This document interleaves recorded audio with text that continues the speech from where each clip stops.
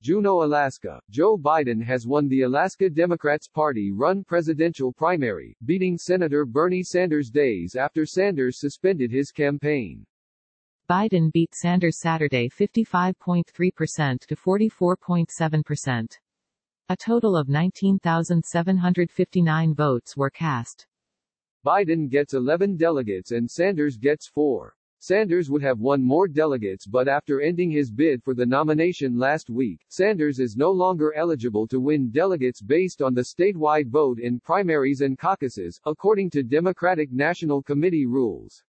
Sanders is, however, still eligible to win delegates based on vote totals in individual congressional districts, which is why the AP allocated four delegate to Sanders in Alaska.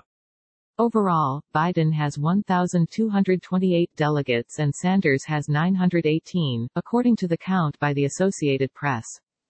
Casey Steinau, chairwoman of the state party, said Sanders, along with U.S. Senator Elizabeth Warren and U.S. Representative Tulsi Gabbard, who also have suspended their campaigns, asked to be included in the tallies. Sanders suspended his campaign this week but said he would keep his name on the ballot in states that haven't yet voted. He aims to collect delegates as part of an effort to influence the party's platform at this year's Democratic National Convention. Sanders won the state party's caucuses in 2016, over Hillary Clinton. Democratic primary, Biden woos skeptical Sanders supporters with new proposals on Medicare, student loan debt. Related, Joe Biden leads Donald Trump by eight points in new poll. Majority believe U.S. is in a recession. The Alaska primary originally was scheduled for April 4, but concerns with COVID-19 upended plans. In response, the party, which had planned to offer voting by mail and at in-person locations, went exclusively to a vote-by-mail system.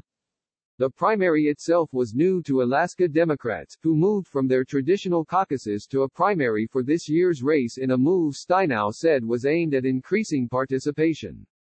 It used ranked choice ballots. The party said it sent in early March ballots to every person who was registered as a Democrat as of mid-February, more than 71,000. The party also included voter registration forms and downloadable ballots on its website. Ballots had to be received by Friday to be counted, the party said.